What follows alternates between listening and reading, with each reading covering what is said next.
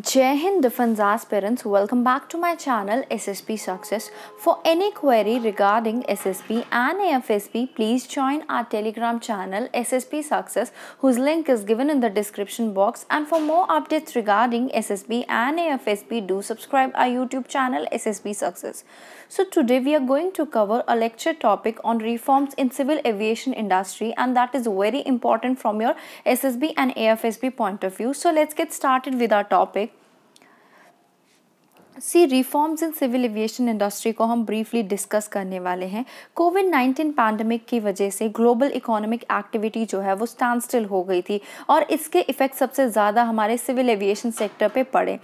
ये जो है, ये टेस्टिफाई किया जा सकता है फ्रॉम द फैक्ट दैट कि वर्ल्ड का second oldest airline Avianca has already filed for bank travel और एविएशन सेक्टर जो है वो कंट्रीब्यूट करते हैं significantly to the GDP of the most countries और ये काफ़ी क्रिटिकल हो गया था इंश्योर करना इकोनॉमिक ग्रोथ और डेवलपमेंट इसके इम्पॉर्टेंस को रिकॉग्नाइज करने के बाद काफ़ी सारी गवर्नमेंट ने वर्ल्ड की उन्होंने अनाउंस किया significant financial packages for the respective aviation industry इसी परसूट में गवर्नमेंट ऑफ़ इंडिया ने भी अनाउंस किया सिविल एविएशन रिफॉर्म अंडर आत्मनिर्भर भारत अभियान उसके बाद एक थ्राइविंग सिविल एविएशन इंडस्ट्री जो है जिसको ज़रूरत है जिसके जिसको ज़रूरत थी किसकी पैकेजेस की और हमें उसके सिस्टमैटिक चैलेंजेस को भी एड्रेस करने की नीड है।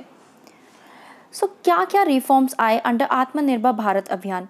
सबसे पहला एफिशिएंट एयर स्पेस मैनेजमेंट जो रूट डिस्पर्जल गाइडलाइंस है या फिर मिनडेट एयरलाइंस है to fly a certain percentage of flights smaller unprofitable air routes उसके बाद जो गवर्नमेंट ने अनाउंस किया कि ये जो रिस्ट्रिक्शंस है on the utilisation of Indian air space इसको ईज़ किया जाएगा। इसकी वजह से ऑप्टिमल यूटिलाइजेशन होगा एयर स्पेस का और फ्यूल यूज़ में भी रिडक्शन होगा। और airports development through triple P के थ्रू क्या चीज़ होगी? जैसे in addition to the existing ones जो एयरपोर्ट है दिल्ली में, मुंबई में, हैदराबाद में और छः और एयरपोर्ट्स हैं, वो ऑप्शन किए जाएँगे under the public private partnership model for the development this was the second reform under Atmanirbhar Bharat Abhiyan. Then global hub for the aircraft maintenance repair and overhaul जो गवर्नमेंट है, वो make in India जो make India एक global hub बनाएगी for aircraft maintenance repair और overhaul services जो convergence होगी defence sector और सिविल एम के बीच में, वो इस्टेब्लिश की जाएगी to bring down the maintenance cost of airline other than that क्या सिस्टमैटिक चैलेंजेस फेस किए हैं हमारी एविएशन इंडस्ट्री ने? पहला है infrastructure deficit inadequate hangar space और या फिर कहें कि unavailability of land to expand airports at the current site particularly in the major cities are two major constraint that face this sector inadequate hangar space means क्या है? Means जहाँ पे aircraft को पार्क किया जाता है, जैस काइंड ऑफ़ तो वो उसकी कमी होना, उस स्पेस की कमी होना और अनअवेलेबिलिटी ऑफ़ लैंड होना सो दैट ये अपने एयरपोर्ट्स को एक्सपैंड कर पाएँ। करंट साइट्स में मीन्स जहाँ जहाँ पे अभी एयरपोर्ट है, ये जो है दो मेजर प्रॉब्लम्स है जो एविएशन सेक्टर फेस करता है। जो डेवलपमेंट है और एयरपोर्ट्स की under triple P model with a view to improving the aviation infrastructure without the government having to pump the additional funds is also a roadblock. Means क्या है कि हमें और एयरपोर्ट को डेवलप करने के लिए वो भी अंडर ट्रिपल पी मॉडल और अपनी एविएशन सेक्टर को या फिर उसके इंफ्रास्ट्रक्चर को इम्प्रूव करने के लिए हमें क्या है कि बिना गवर्नमेंट के हेल्प के हम जो है इसको कर ही नहीं सकते। मीन्स हमें गवर्नमेंट के फंड्स की जो है वो नीड है ही। एयरपोर्ट का जो इंफ्रास्ट्रक्चर डेवलपमेंट है वो एक चैलेंजिंग प्रोसेस है, जो कि हमेशा किसकी वजह से रह जाता है? डिलेज की वजह से रह जाता है। ठीक है? दूसरा क्या सिस्टमैटिक चैलेंज है? That is high fuel cost जो फ्यूल कॉस्ट है as a percentage of operating charges वो फ्यूल कॉस्ट जो है वो फोर्टी फाइव परसेंट होते हैं किसी भी एयरक्राफ्ट के। ठीक है? और अगर हम उसको कंपेयर करें, ये स्पेशली इंडिया की बात हो रही है। अगर हम इसको कंपेयर करें किससे ग्लोबल एवरेज से जो कि थर्टी परसेंट है। जो प्राइजेस है एविएशन फ्यूल के इन इंडिया वो अप्रॉक्सीमेटली सिक्सटी परसेंट ज़्यादा है in as we compare it with the Asian और मिडल ईस्ट कंट्रीज़ क्योंकि जो high central and state taxes की वजह से इंडिया में जो है, हमारे फ्यूल का कॉस्ट बहुत ज़्यादा है। इसकी वजह से जो है प्रॉफिटेबिलिटी जो है सिविल एविएशन इंडस्ट्री की वो वलनरेबल हो जाती है to volatility in global oil prices other than that we have skill deficit shortage है और गैप है in the availability of industry recognise skills airline pilot से लेके क्रू टू मेंटेनेंस से लेके ग्राउंड हैंडलिंग पर्सनल से लेके इन सब की जो है स्किल्स में कमी है. ये एक one of the major problem है.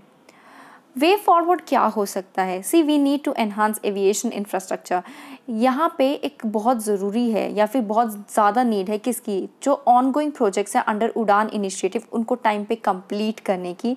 उसके साथ साथ जो एग्जिस्टिंग कैपेसिटी है इंटरनेशनल एयरपोर्ट की, उनको भी बढ़ाने की ज़रूरत है under the international UDAN initiative government की जो इंटेंशन है to make India a global hub for aircraft maintenance repair and overhaul services उसकी वजह से क्या होगा कि सेव कर पाएँगे कॉस्ट और जो लिक्विडिटी क्रिएट हुई है फॉर एयरलाइन कंपनीज़ जो कन्वर्जेंस हो रहा है between civil MROs and defence sector वो भी एक economy of scale and long term benefits create करेगा।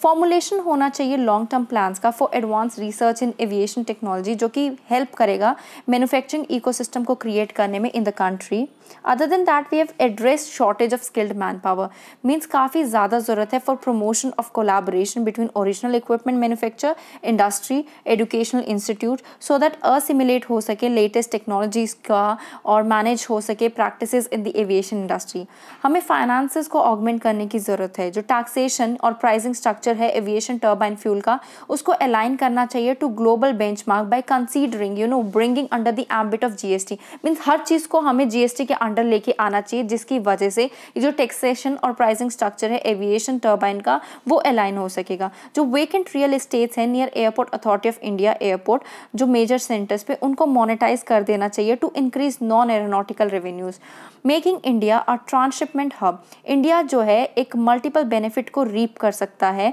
अगर हम इसको इस्टेब्लिश कर दे एक transshipment hub in the region ये जो ऑगमेंट है इंडिया का, ये इंडिया की ट्रेड कैपेसिटी को एज अ सर्विस प्रोवाइडर बढ़ाएगा एमर्ज करेगा इंडिया को as a foreign exchange earner और अनेबल करेगा for better connectivity in the region ये जो है किया जा सकता है by the development of digital business enablers जैसे कि ई कॉन्ट्रैक्टिंग करके ई ट्रांसपोर्टेशन करके मल्टी मोडालिटी करके ई कंप्लाइंसेस करके ई ग्रीवियंसेस रीड्रेसल मॉड्यूल करके।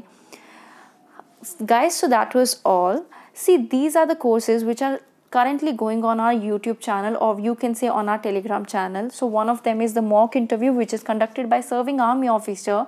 So that will cost you only 750 rupees. Other than that we have SSB monthly guidance program and whose schedule is given on the next slide. You can go through it and that will cost you around 2000 rupees. We have a yearly current affair magazine that will only cost you 100 rupees. If you have any query regarding our courses you can contact us on Telegram channel which is SSB success 3595 or on our email id that is successguru55 at the rate gmail.com so guys that was all. Here is the personal mentorship course schedule which is going on our telegram channel.